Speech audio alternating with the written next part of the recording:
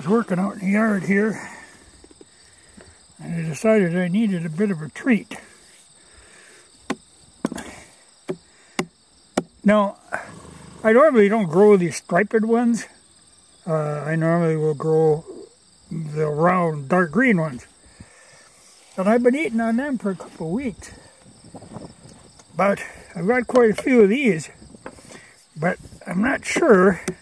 You know, you know the the trick to tell when a melon is ripe, you know, you hold your hand on it and then tap it. And you should feel that vibration. Uh, I always compare it to if you ever, like even in a grocery store or something, pick up a can of that Gojo hand cleaner, hold it in hand, just tap it. And you'll, you'll see what I mean. It gets that, it transmits a vibration through it. But I'm used to dealing with them other ones. So I don't know if my method will hold true with this. But we'll see.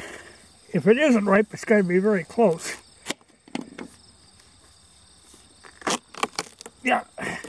Now, it could go a little bit further, but you don't want to get them soft either. Well, that's a pretty good melon. Well, now I got a good treat.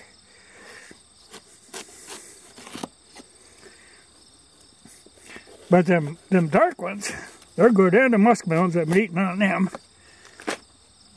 But I had a desire for watermelon.